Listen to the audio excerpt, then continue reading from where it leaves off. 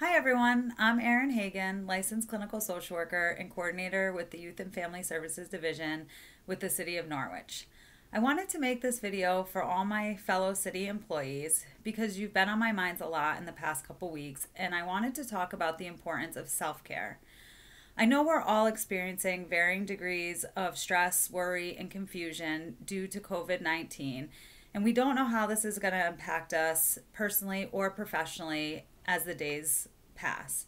So, what we can control right now is how we take care of ourselves. And self care is something that I talk a lot about with my employees and with the clients that we work with. And I wanted to share some tips and resources with all of you um, to maybe help you along your way as we deal with this crisis together. So, self care is actually a term that came about in the 1950s. It was a medical term that they used for patients who were hospitalized um, in order to help build their self esteem. And it referred to things like exercise and personal hygiene, which are still things that people can do for self care today.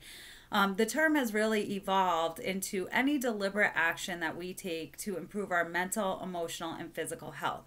And for everybody, that's different. We all have different things that help us relax or help us feel rejuvenated. So, I'm just going to share a few simple tips with you that may work for you. And um, that you can give a shot. So the first one is um, small accomplishments, setting small goals in the morning. And I'm going to speak specifically to maybe setting a goal to make your bed every day. Now, that would be important because it's something you can do. It only takes two to three minutes, and it's a small accomplishment that starts you off on the right foot of achieving a goal in the morning, which builds self esteem and maybe will motivate you for achieving smaller goals or even bigger goals throughout the day. Um, it's also nice to have an already made bed. Um, but if that's not for you, that's okay. You can set other small goals. Um, maybe that you're going to get up and change out of your pajamas today. That is maybe a goal that is reasonable during these times where some of us are working from home or not able to work because of the governor's orders or other health concerns. So it's just the idea that if you set one small accomplishment goal in the morning and you achieve it, you might be off to a good start. So, another tip that I want to share with you is about mindfulness. So, mindfulness is another term that's used very frequently. And mindfulness really refers to anything you can do in the moment to ground you and center you in the here and now in the present and get you kind of out of your thought process. So sometimes we can get caught up in anxious worry and um, negative self talk or negative thoughts. And when you do a mindfulness activity, it brings you out of your mind and into the present moment where you're at. And so, one that I really like to do is called the five senses. And it's just that it's um, getting you to connect with your five senses in the environment that you're in and so I'm going to do it real quick with you just so you can get an idea of how quick and easy this can be. So I invite you to just close your eyes really quick and take one very big deep breath, and I'm going to do it with you. And then when you open your eyes, take a look at the room around you and start to identify and list in your mind or out loud five things that you can see. So maybe you want to pick things that aren't obvious, things that you don't typically notice. So as you're looking around the room, just list these five things that you see. And next, I'm going to ask you to identify four things that you can touch. Now, this can be the feeling of the clothes on your body, it could be a chair or a table next to you, but just take a moment to feel the texture of those items. Now, thirdly, I'm going to ask you to pay attention to three things you can hear. And maybe not things that are always so obvious. Maybe it's the birds chirping outside or an appliance humming in the next room.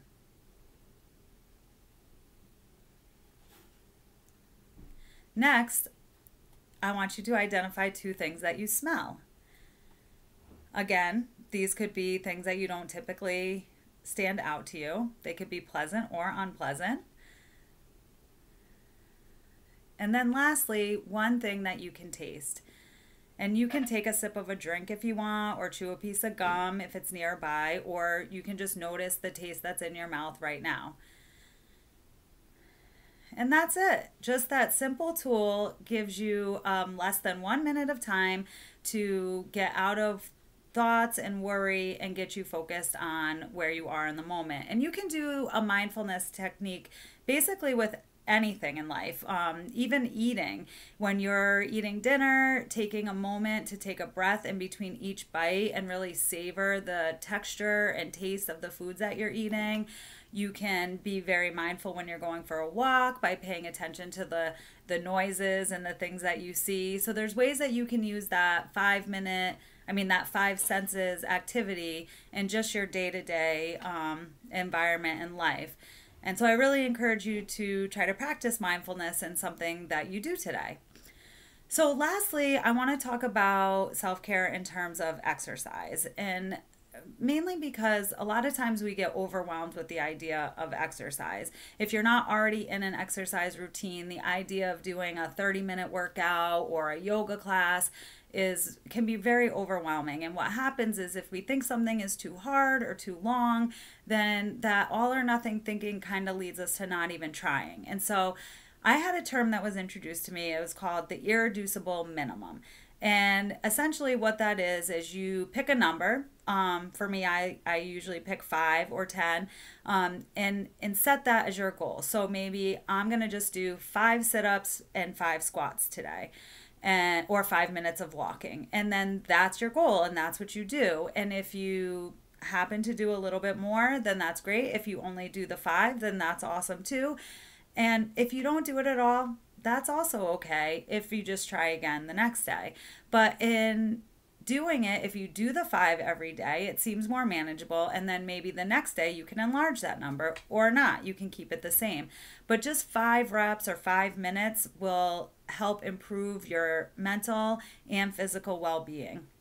You can also try this with a task or um, like completing a project or cleaning the house. Set a timer for five minutes and just know that you're going to do it for that five minutes. And again, if you do it for longer, great. If not, you're five minutes closer to a cleaner house and a completed task. So that's just a little tip and an idea to set some kind of manageable, achievable goal that doesn't make you feel overwhelmed. And we have enough feeling of overwhelmed right now. So it's really about setting little small goals. And I I challenge you to try a self care activity every day, even just for two or three minutes. And it doesn't have to be the ones that I mentioned. Like I said, the list can go on for self care um, taking a bath, going for a walk, FaceTiming a friend, tinkering in the garage, in the garden. The, the list is just endless. It's just something that you enjoy doing that also relaxes your mind and your body. Uh, there's lots of videos on YouTube. Um, you can literally search five minute workout on YouTube and, and they'll have them, or five minute guided meditation or five minute mindfulness activity. And there's lots and lots of resources online for you to do that.